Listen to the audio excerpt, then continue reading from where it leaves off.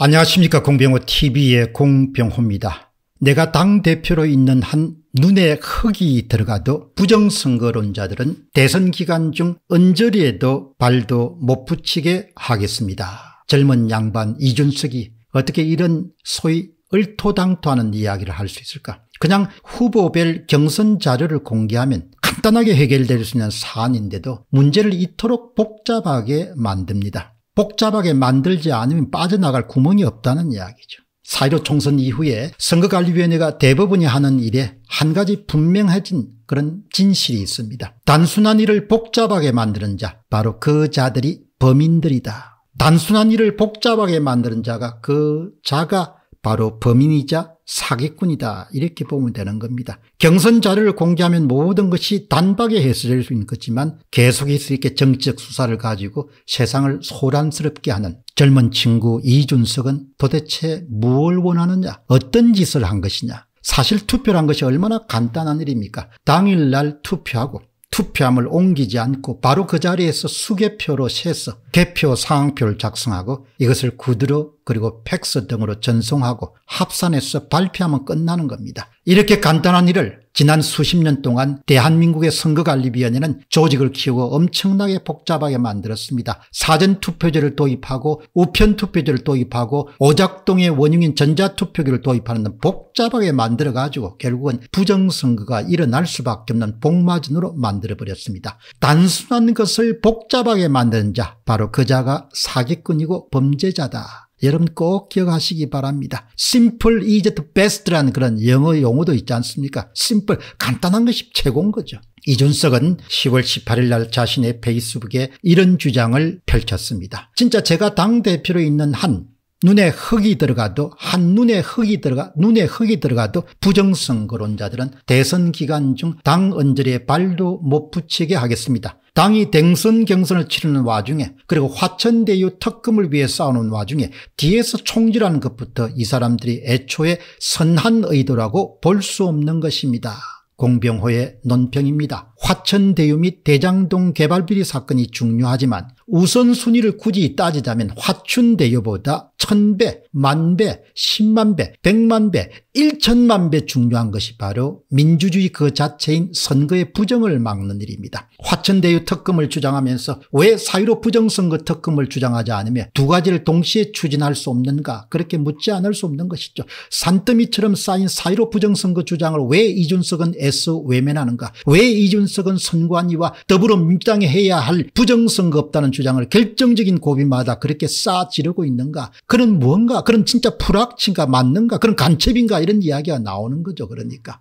주범들도 하지 않는 일을 왜 그렇게 나서서 그것을 은폐하는데 그렇게 노력을 하는가? 세상 사람들의 논평을 한번 들어보겠습니다. 이것은 다른 것도 아니고 이준석 씨가 올린 그야말로 내 눈에 흙이 들어가더라도라는 그런 자신의 글에 대해서 그의 페북에 많은 글은 당원들과 국민들이 남긴 의견입니다. 주옥 같은 글이 많습니다. 신성낭님입니다. 이준석 씨 경선 정거를 까세요. 그러면 됩니다. 눈에 흙이 들어가도 그런 유치한 발작 말고 부끄러운 줄 모르는 사람은 양심도 없습니까? 여기까지가 신성상님의 의학입니다. 제 주장은 이렇습니다. 후보별 득표율을 까면 간단하게 순식간에 해결될 텐데 무엇이 두려워서 그러는가? 무엇가 그렇게 두려운가? 깔 수 없는 이유가 뭔가? 다음은 이서병님입니다. 공정선거 할 생각은 있습니까? 증거 다 까고 말을 해야죠. 무조건 부정선거 없다는 당신이 진짜 의심스럽습니다.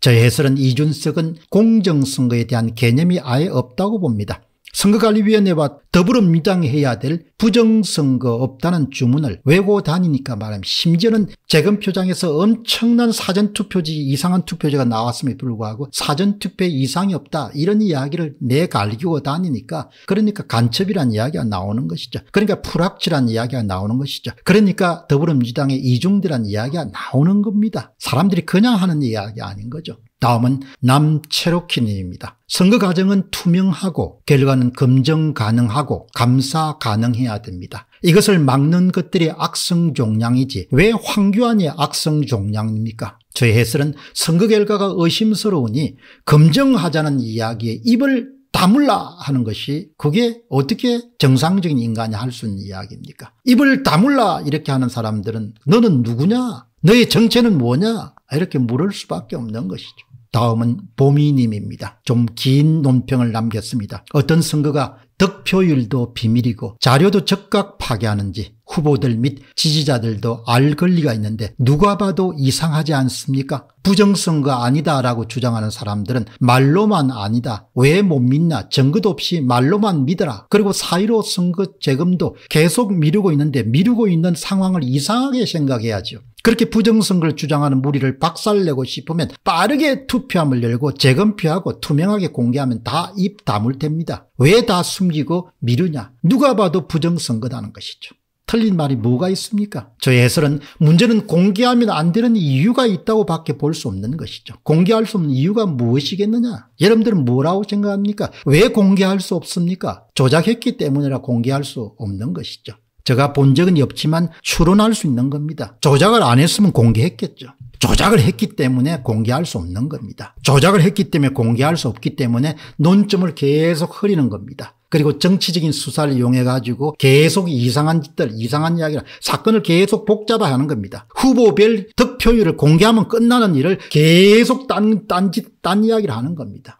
정말 벌받을 일을 한 거죠. 다음은 이윤호님입니다. 보자 보자 하니까 말하는 싸가지하고는 아주 건방집니다. 이 사람아 국민의 힘당이 네 개인 거냐? 우리 다 국민의 힘당 당원이야. 대법원에서 아직 판결도 안 하고 미적거리고 있고 선거관리위원회가 전부 다 쑤셔 넣은 부정의 증거들 모든 증거가 직접 가서 본 사람들이 얘기하는 거 아니야. 당신은 부정선거 확실하면 은퇴하는 건 말 아직도 유효하지. 젊은 사람이 좀 정의롭고 솔직해야지 자신의 이익에 따라서 팩트에 사실에 눈을 감고 쌩 까면 되는 줄 아는데 어림없다 이야기야. 코로나만 풀려봐라. 강화문 광장에 분노한 국민들이 모여서 부정선거로 국회에 장악한 이 정권을 다 넘겨버리고 말 거야.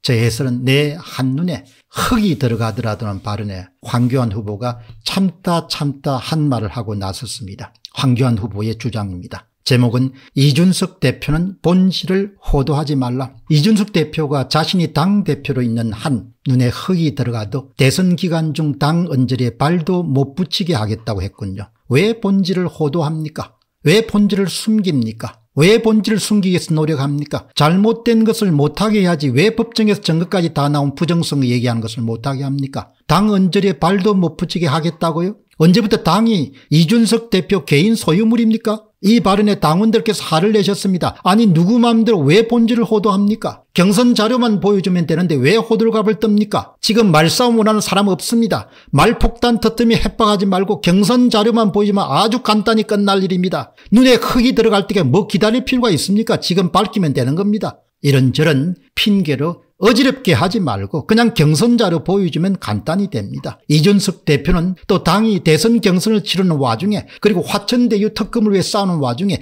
뒤에서 총질한 것부터 이 사람들이 애초에 선한 의도라고 볼 수 없는 거라고 했습니다. 부정선거 이슈 제기가 총질입니까? 이준석 대표 인지 등이 그 수준밖에 안 됩니까? 대통령 선거에 승리하려면 최우선적으로 부정선거 문제가 밝혀져야 되기 때문에 제가 이러는 겁니다. 국민들께서 아무리 정권 교체의 염원을 가지고 내년 대선에서 우리 당 후보에게 압도적으로 표를 몰아주신다고 한들 이번에 부정성을 못 밝히면 그 표들이 또다시 저들이 받은 표로 둔갑해버릴 것입니다. 이걸 막는 것보다 더 선한 의도가 어디 있겠습니까? 화천대유 특검 물론 중요합니다. 그러나 부정선거 특검도 더 중요합니다. 왜 특검을 둘 다 진행하면 안 됩니까? 이것이 당을 위하는 길이고 나라를 위하는 것이고 국민을 살리는 길입니다. 황교안 후보가 글을 참 잘 씁니다. 제가 페이스북 글을 이렇게 보면 짧고 단약에 군더더기 하나도 없는 글이네. 틀린 말이 어디 있습니까? 틀린 말이. 글이 이렇게 간결하다는 이야기는 생각이 정리되어 있다는 것이죠. 생각이 정리되어 있다는 것은 뭘 뜻합니까? 본질과 비본질을 구분할 수 있다는 것이죠. 거기다 양심까지 강하게 되면 절대 본질을 외면한 주장을 할 수 없는 것이죠. 그렇기 때문에 이번에 부정선거를 거론해가지고 결국 불이익을 당한 거죠. 그러나 누군가는 해야 되니까 본인이 그 시대적 소명이라고 생각한 거죠. 본질을 봐야 될 거 아닙니까? 비본질을 가지고 그 본질을 흐리려고 하는 것은 그야말로 나쁜 것이죠. 이준석 씨 아주 대표적인 경우입니다. 본질은 까는 거다. 야. 까, 까, 까. 왜 못 가? 숨길 게 있는 거에 못 가는 거지만. 뻔한 거지 않습니까? 공병호 TV의 공병호였습니다. 감사합니다.